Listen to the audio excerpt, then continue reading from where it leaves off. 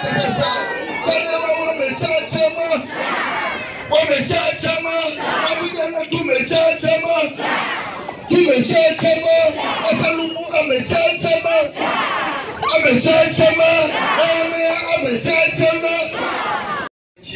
Nikienda kinyume na haya, Nikienda kinyume na haya, nikinunuliwa, ee Mungu niepushe nisinunuliwe. ee Mwenyezi unajua kiapo hichi, ee Mwenyezi Mungu nisaidie. Ee Mwenyezi Mungu unajua hiki, ee Mwenyezi Mungu nisaidie.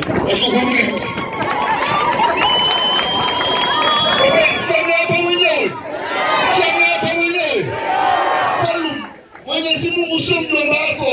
Nenda kinyume na ulichosema hapa, utaelewa maana kwa nini wakati mwingine ni mboga na wakati mwingine maharage ni futari. Watu wa Kinondoni, watu wa Kinondoni, tunaomba sasa tarehe kumi na saba sio tunakwenda tu kuchagua kiongozi wa Kinondoni. Tarehe kumi na saba tunakwenda kusema hapana kwa biashara ya utumwa iliyoanza Tanzania na fedha za walipa kodi, fedha za wavuja jasho zinazokwenda kufanya uchaguzi. Watu barabara ni mbovu namna hii, mnamuunga mkono kwa kipi? Tatizo la hawa watu wana njaa kama wamezaliwa Ethiopia. Anarudia kusema wenyewe asitokee yoyote Lugumbi akasema mwana CCM, mwambie wewe ni kibaraka, mpombe, mnafiki tu. Wenye CCM yao ndio hawa wanaoamua achaguliwe mgombea bila kupiga kura. angalau tungesema tu huyu ni mtu mwingine, yaani yule yule ambaye tumempa kazi ya ubunge akaikimbia, alafu anakuja kuomba kazi hiyo hiyo ya ubunge, CCM na yenyewe eti inamleta. Hayo ni madhara ya chama kimoja ambacho kimetawala kwa muda mrefu. Kwa hiyo kama Mtulia tulimchagua wakati huo tena kwa nguvu sana, badala ya kwenda kututetea maslahi yetu, amekwenda kutetea ya kwake, kama ilivyoelezwa hapa. Kwanza, mimi sio mbunge, huwa nasikiliza bunge, ingawaje imezimwa bunge kwa sehemu kubwa, lakini wakati wa maswali, wakati mwingine wanaachiaachia.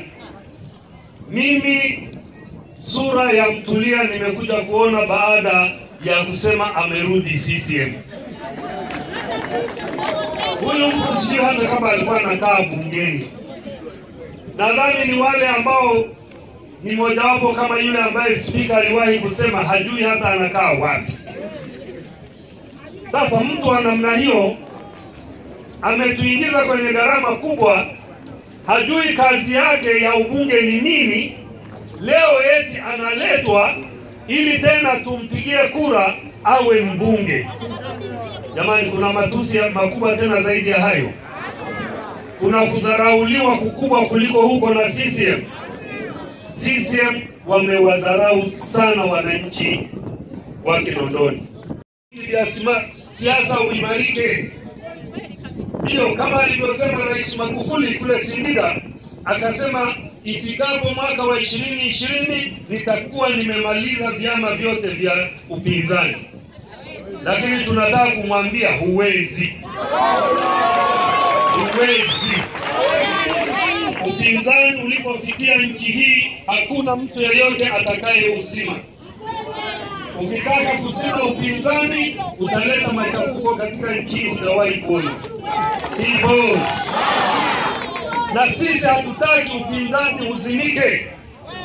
Sisi wengine tumetoka CCM kuja kuimarisha upinzani, na nataka niwaambieni ndugu zangu, leo tunafanya uchaguzi hapa, tunataka wananchi wa Kinondoni na kule Siha na kwenye kata ambazo kuna uchaguzi mtuonyeshe kwamba mwaka wa ishirini ishirini ukawa tunachukua nchi.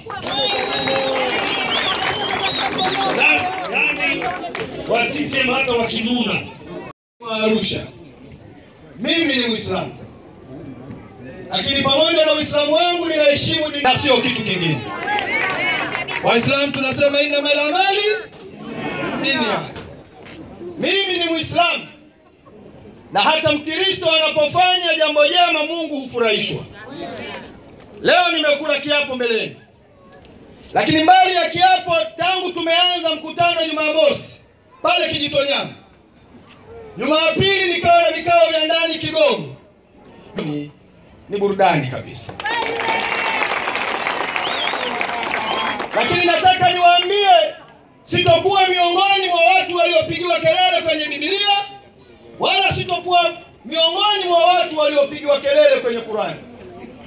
Unafiki na usaliti, innamal amali, tumesema binniyat kila mmoja amali yake na nia yake iko ndani ya nafsi yangu, na mimi nataka niwahakikishie sitokuwa miongoni mwa wale waliotajwa kwamba ayatul munafikuna thalatha, kwamba wale watu wanafiki wao wakisema husema uongo, sitokuwa miongoni mwao.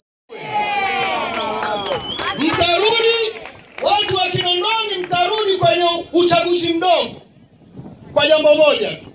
Mungu aliyenipa pumzi hii akiamua kuichukua pumzi yake, lakini sio vinginevyo. Wakati wa uchaguzi mkuu wa chama, sipendi kurudia, lakini mliambiwa alipoondoka aliyekuwa katibu mkuu wetu Dr. Wilbrod, nisingeiweka ile mzee, ile nisingeiweka siku ya mwisho. Na CCM anajua walivyokuwa wanatafuta, nikamwambia mzee, mnanijua. Mimi sijavuka ziwa Victoria, mimi nimevuka bahari ya Nungwi, meli nzito,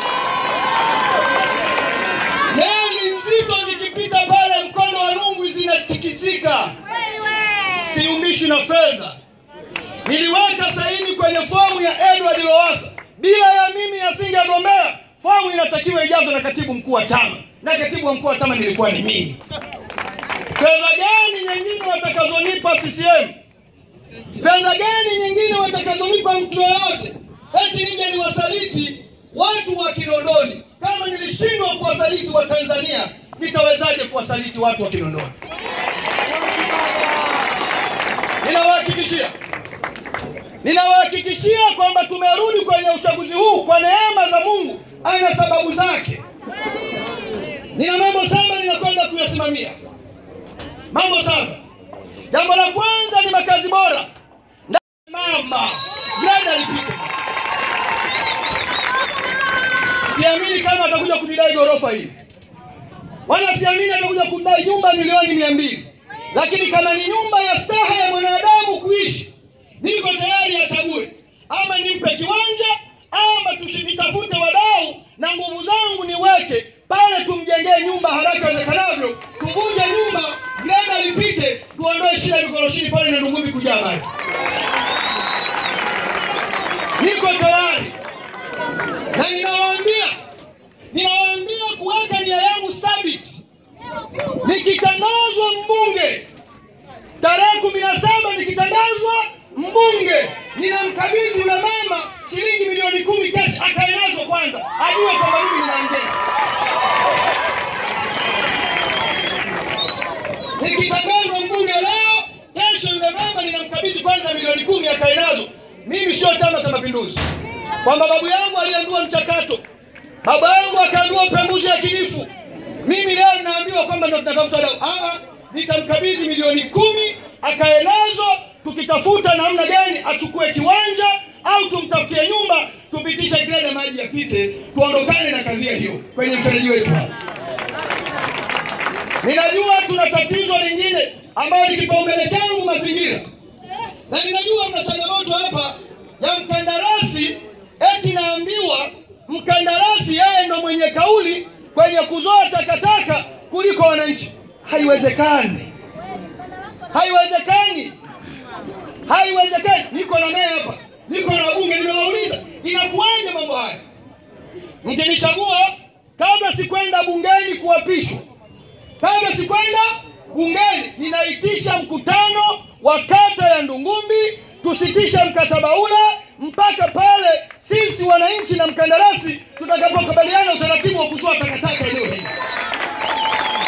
Atakayenyanyasika ndani ya Kinondoni, ukikamatwa, ukikamatwa, ukikamatwa, piga simu kwa mbunge wako. Shughuli ya kutetea haki ya raia katika jimbo lolote ni jukumu la mbunge. Niachie niitetee haki yao. Isipokuwa hapa niweke vizuri masela. Sawa masela? Sawa shikaji? Hapa niweke vizuri. Usije ukakamatwa kwenye bodaboda umepakia mke wa mtu aliyefumaniwa ukanipigia. Ah! Hiyo nitamwambia afande, huyo weka ndani kidogo huyo. Mtakuja kumshughulikia baada ya wiki moja. Lakini sijui mambo ya leseni leseni, sijui umepaki eneo sipo, tutakuja tutazungumza, nipigie simu makamanda wenzangu wa bodaboda, mama zangu.